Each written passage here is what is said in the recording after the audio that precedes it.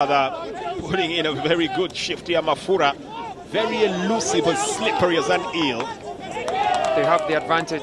Might be just getting started the journey to the Rugby World Cup, but there's a lot to play for here, and both teams need to put their best foot forward. Well, another kick forward, and once again, flying down that wing.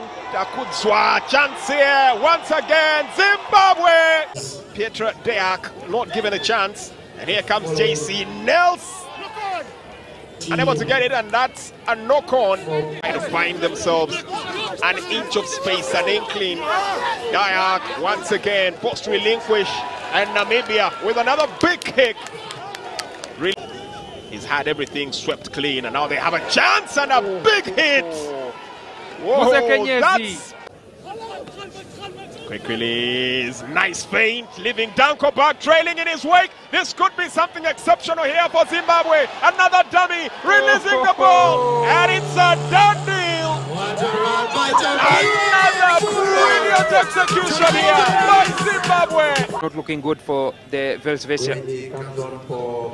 Getting it on, trying to find space, the final. Definitely taking off some of their star players here. Oh, some of their star starters.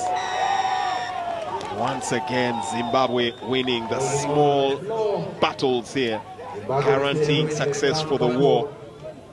Brandon Mudzekenyedzi has been a rock on defense in that number 13 jersey. Looking for work, putting that shoulder in, and also winning turnovers for his team. And when he finds the spare time to do so,